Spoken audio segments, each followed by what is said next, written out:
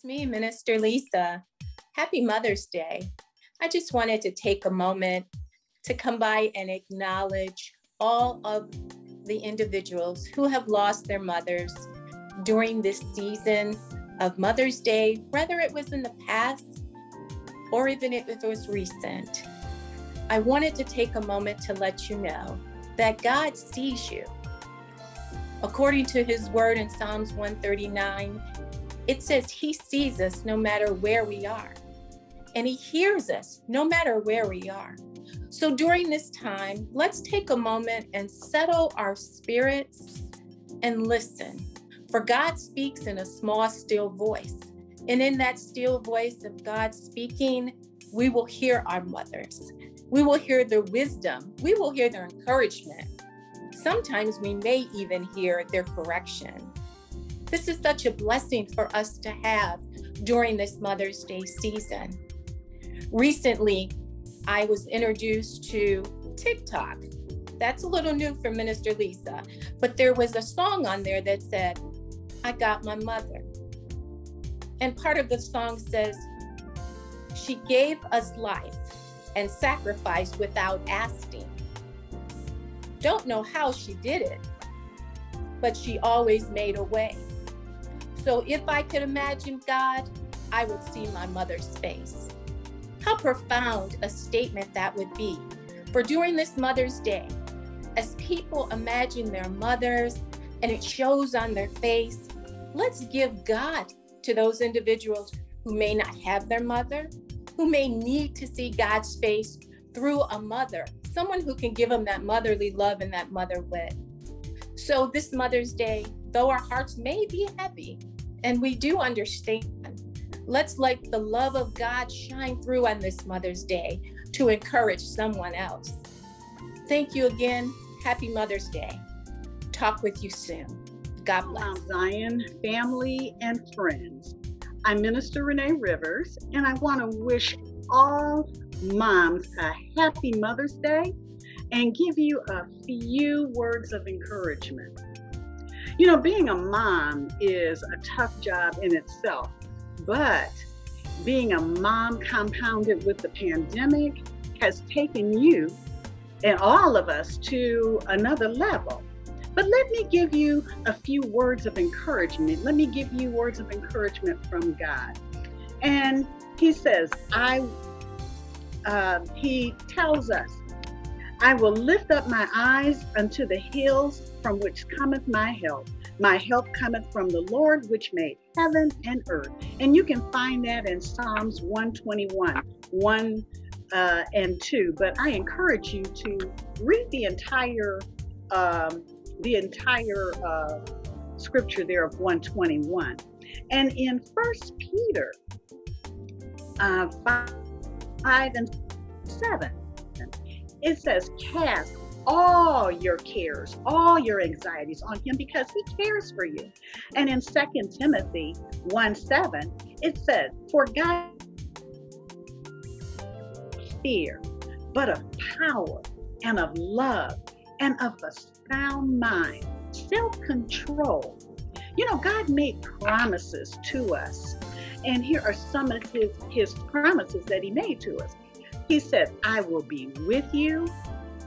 I will protect you. I will be your strength. I will answer you. I will provide for you. I will give you peace. And I will always love you. You know, God is a God of love. In John 3 16, for God so loved the world that he gave his very best. And you know, to God's promises, we say yes and amen. Yes to his will and his way, to his word. And from us, amen. His word is true. So on this Mother's Day, I want to wish all of you a very happy Mother's Day. God bless you and be well. In this moment with God, we celebrate, we honor our mothers because it's Mother's Day. We celebrate our mothers. those mothers who are resting with our Father in heaven. We celebrate our mothers who are alive in our hearts. We celebrate all the mothers that are enduring and encouraging us on this day that's with us. And we also in, want to take a moment to acknowledge and say thank you for those that God has uh, positioned to be motherly towards us. We honor you this morning. Thank you, mothers, for who you are in Christ Jesus. We thank you as I remember my God, my mother in this moment, remembering God's goodness and mercy to me expressed through my mother. Mothers, know that you are a unique, fearfully, and wonderfully made expression of God's love in the world for his children. Walk in that authority, that love, for you are a reflection of God's love in the world. Know that your words of encouragement, the sacrifices you make, your example of faith in God through Christ Jesus, make an indelible imprint upon your child's life. Mothers, continue to raise up your children in the way that they should go. And when they're old, they will not depart from it. In sad times, in bad times, mothers, you are there doing the best with whatever you have to make it better for us. You kiss our wounds and make it better. You comfort us in so many special ways. Thank you, mothers, for being messengers of hope and life. Thank you for your words of encouragement, like, hold your head up, baby. It's going to be all right. Good things are coming to you. God loves you. God will make a way somehow. Wait on the Lord and be of good courage. He will strengthen your heart. I'm praying for you. I love you, sweetheart. We thank our mothers for those mouth watering meals cooked with such love. The southern fried chicken, the macaroni and cheese, the cornbread, the greens, those wonderful desserts, peach cobbler, and pound cake. I can taste them now. Thank you for how you discipline us, sometimes with just a look that says, you better stop before you suffer the consequences and the ramifications of your actions. Thank you for the songs of faith you taught us and you sang to us. Thank you for the many prayers, even the prayers you prayed at night in the midnight hours for us and throughout the day. Your prayers, fervent, effectual prayers of the righteous, availing much in your children's lives. Let us take this day to love upon our mothers, to thank God for mothers and remember the amazing blessing God has given us through the sacrificial love of mothers. I'm remembering number 6, 24 through 26, which tells us, and this is dedicated to mothers, may the Lord bless you and keep you. May the Lord make his face to shine upon you and be gracious unto you. May the Lord lift his countenance upon you and give you peace. God bless you, mothers, family, and, and children. Love upon your mothers today, especially today, but always and every day. Be thankful for your mothers. God bless you. And again, happy Mother's Day to all. Well, praise God, everybody. Praise the Lord. This is a good day to be serving the Lord.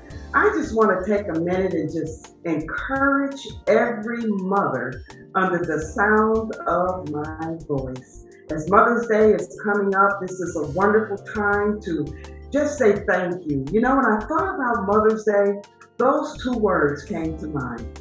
Thank you. Thank you for everything that you do. Thank you for who you are. I first of all thank God for the vision of motherhood and what He's given us. He's given us something so precious and so powerful that we are created beings to bring forth life. And for those who are mothers and those who are mothering, We just want to take a minute here at Mount Zion to say thank you to every woman across Mount Zion, across the nation, in the world. Thank you, thank you, thank you, thank you, thank you. We honor you. We salute you for all of the warmth that you've shown, all of the sacrifices that you have made. And we thank God that at this moment and in this time and in this season, that He's still using women. You know, God finds women to be very precious across the Bible. There's so much written about us. There's so much written for us. And we thank God for what He's doing in our lives. And I'm believing that right now that God is restoring the years that the locust and the cankerworm ate. He's restoring everything that we've given out. Our God is just that kind of God.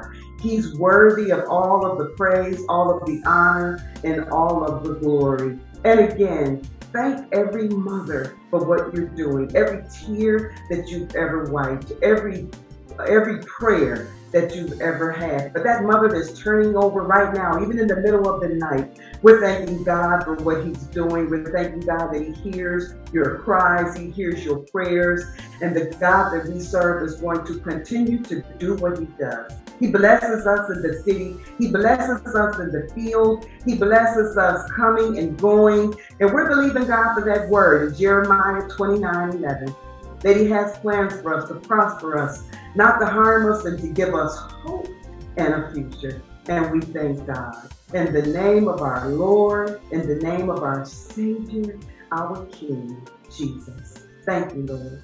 And thank you, everyone, for doing what you do, providing love straight from the throne of God. Amen.